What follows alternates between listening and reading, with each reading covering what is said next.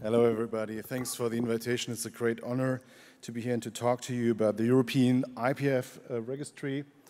Um, these are my, can we see the slides? There they are. These are my conflicts of interest. Uh, the European IPF registry is probably the oldest registry from those that we hear about today. It's 10 years old. You can see in blue the countries in Europe that are participating in this registry. Uh, it has been founded out of the European IPF network, which was uh, an EU uh, frame program 7 funded translational research network, where the European IPF registry was a, a smaller uh, part, which uh, only had a limited funding. And I have to say right up front that uh, since the ending of the official funding through the EU, we have been kept alive by some support through foundations and industry. I'd like to mention Roche and Boehringer and also NITO who have been able, enabling us to survive uh, and to continue to recruit patients. Uh, I think this is a problem that many of us face. So the focus of our registry from the beginning on was not only to focus on IPF, but also other forms of ILD. Uh, we wanted to uh, collect longitudinal data allowing us to characterize the natural cause, risk factors for uh, aggravation and for evolution of the disease, uh, to decipher treatment responses. And a very, very important point right from the beginning was to provide biomaterials for research, for translation research, biomarker development, and development and, and scrutinization of novel treatment modalities. Um, data safety is an issue in Europe, as you know, so we had to work a little bit on, uh, on an elegant data safety uh, concept, which uh, is shown here. So you can see that the patient identifying information has to be kept simply uh, separated from uh, the medical data information. It's a, more or less a kind of a complex system uh, in, in um, which makes use of a pseudonymization process, uh, but allows us to keep the patient identifying information also on track and to re-identify patients under certain conditions. Our uh, broad informed consent procedure is a multi-level informed consent procedure, so we are asking patients if they would like or if they would agree to have genetic testing been done. They, we asked them if we would be able to share data and biomaterials with other research uh, uh, collaborations and also with pharma industry. We asked them for re-identification if they would fit to clinical trials or if they uh, would probably profit from some information we retrieved during the course of the work uh, using their sample. So it's a quite uh, multi-step level informed consent procedure has turned out to be quite effective and good.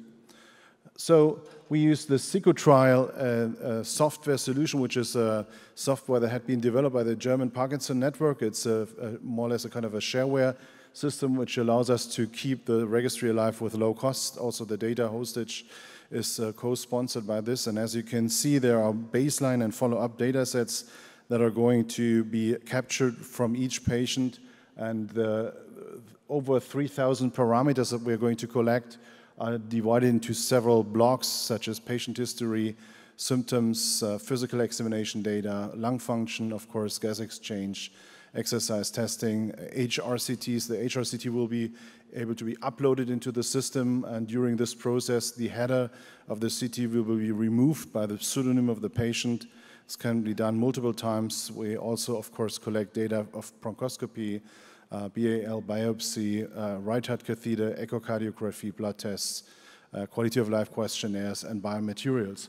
We can also upload PDF scans from histology slices and do have the chance to do digital pathology, uh, meaning that we digitalize uh, pathology slides. Uh, as you can see up to now, this is a deadline April 1st. We had been able to include 833 patients with idiopathic interstitial pneumonia, of which 622 patients were IPF patients and more than 100 were unclassifiable. Uh, and as I have been telling you, we are also from the beginning on collecting other disease entities, including non-ILD diagnosed such as lung cancer, COPD, emphysema, as important disease controls, uh, showing the same age range and to some extent the same nicotine uh, exposure. Uh, and we do also have data from uh, other forms of ILD other than IIP, and you can see that there are 330 patients already included in the registry. A lot of biomaterials, around 1,500 for blood-based samples. There are a lot more BAL data as shown here because they still have to be entered into the system. And I would like to briefly review our, our current achievements. As I said, this is a 10-year-old registry, so we do have some publications that are resulting from either the clinical or the biomaterial-based work, and I would just like to quickly uh, go through this. So we have some data on uh, electric gnosis uh, using uh, a, a proteomics approach to try to separate different forms of ILD. So we have been making the experience that IPF can be safely separated from controls the sensitivity of the gnosis that we have been applying so far is not good enough to identify separate uh, sub-entities of ILDs, but we think there's a potential in the system. We have been describing families with idiopathic pulmonary fibrosis, have been evaluating uh, psychometric properties, have been also assessing the utility of lipid mediators and exhaled breath markers or exhaled breath condensates. There's uh, also a study that had been published on lung CT densitometry and the baseline characteristics of our patients, as well as a, a paper on inter-individual responses to treatment with antifibrotics. I would just like to highlight some few of them. This is an earlier paper employing some patients from our registry where we could see that the response to pirfenidone based on the intra-individual FVC slope can be remarkably different between different IPF patients. The majority of patients being in a progressive state, turning into a more stable state, but also patients that seem not to profit from this particular treatment and others who deteriorate under treatment, uh, whereas they had been stable before, only a minor fraction, but it pretty much reflected the average of what we are seeing in the clinical trials. Um, the baseline description or the baseline paper that had been published uh, last year uh, showed that uh, indeed, um, as compared to previously non-treated patients, and since our registry is 10 years old, we did have a, a number of patients not receiving antifibrotic treatment as compared to these patients. The introduction of the antifibrotic therapy had been on average duplication or had a duplication of the mean, uh, median survival as a consequence. Um, we did do some work in HRCT, as I had been mentioning. So this is an innovative approach looking at the lung densitogram um, where we had been assessing hand-segmented CT sections and uh, uh, looked at the density of these sections um, by, uh, by conducting the first derivative, we could uh, identify the uh, area right of the inflection point, which, re which reflects the fibrotic scar tissue, and found out by univariate and multivariate analysis that this is highly correlated with outcome, um, even better than some of the lung function tests we are using, and we're currently trying to assess that uh, in a, a more a novel approach using uh, um, volumetric scans of CTs. And then there's a long list, uh, close to 50, of articles that have been published employing and using materials, biomaterials from the European IPF registry and uh, biobank uh, focusing on uh, epithelial to mesenchymal transition, fibroblast subpopulations, conversion of myofibroblasts into lipofibroblasts and back, impact of different signaling cascades, including Notch, TGF-beta, some uh, um, uh, coagulant pathways, as you can see.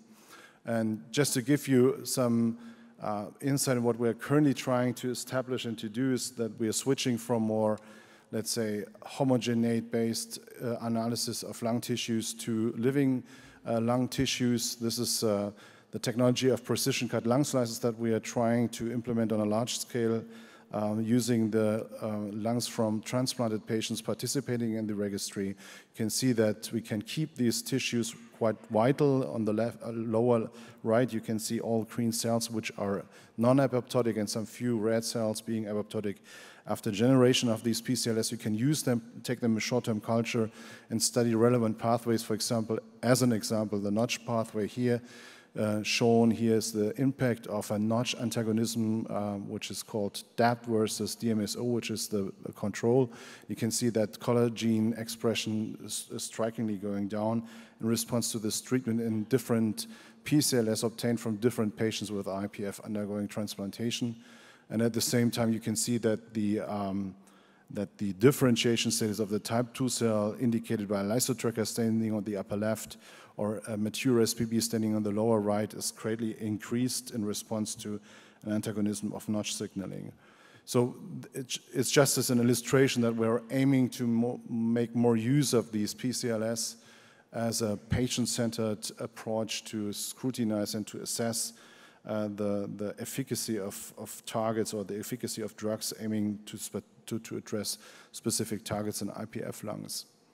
Um, we're currently also working on trying to cryopreserve these PCLS on a large scale, which would allow us um, to decouple the analysis of pathways in these PCLS from the provision of the material because right now we have to uh, work on the lung tissue that we receive at the moment we receive it, um, which is somewhat complicated as you can imagine.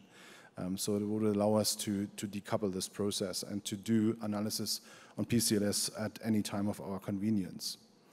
Um, finally, as a, as a kind of a outlook in the future, we are also working on trying to isolate uh, progenitor cell populations from IPF lungs that um, have been donated by patients participating in the registry. Here you can see the difference in organoid formation of type 2 cell preparations. Upper panel is a donor lung uh, tissue that, that was uh, coming along with the uh, explanted lung, uh, which had been resected because of size incompatibilities. And in the lower you find the IPF lung specimen. Uh, both are FACS separated type 2 cells that had been put into an uh, culture, and you can evidently see that there's a great difference with regard to the formation of organoids between the donor and the IPF lung. So let me spend some few uh, seconds on our future goals. Um, so our primary goal will be to enlarge and to expand the IPF registry um, to an ILD registry in biobank. This has been done this autumn. Our intention will be to collect another 4,000 ILD patients in the next three years. Uh, we have been recruiting additional sites who are going to participate. We have been uh, um, putting up a proposal which is currently under the final review uh, in the European Joint Program on Rare Diseases. So we are amongst the 45 proposals out of 280 who survived the first phase. we do hope that we get uh, a final uh, uh, submission and a final call to do our work. Um, as you can see on the right side, these are the new sites that have been next to the old ones that have been joining us to do this kind of endeavor. Uh, a lot of names that you are all familiar with, uh, including also Simon Walsh, who is going to work on the HRCTs that we're going to collect in this consortium. On the left hand, you will see what we're intending to do. So it will be a combination of a deep phenome and a multi-level omics approach uh, with deep phenome um, I largely refer to what I have been telling you, including some handheld measurements, of course, based on Toby's initial experience. Uh, we will certainly look for spirometry, accelerometry, and saturation measurements and exercise tests. And on the field of the omics, we also still want to explore if exhale breath condensates or omics data may be helpful to distinguish patients in this regard. We will include uh, the SniffPhone, the so-called SniffPhone from Hossam Haick, an Israeli uh, colleague who has been working on this technique for a longer time period. And at the end of the day, all, all data, the clinical data as well as the multi-level omics data will be put into a rare ILD data warehouse uh, and, and, will include some artificial intelligence-based analysis of all these uh, different data, allowing us probably to identify disease-specific signatures as well as to um, define a kind of a progressive course which may probably prone patients to a certain treatment approach.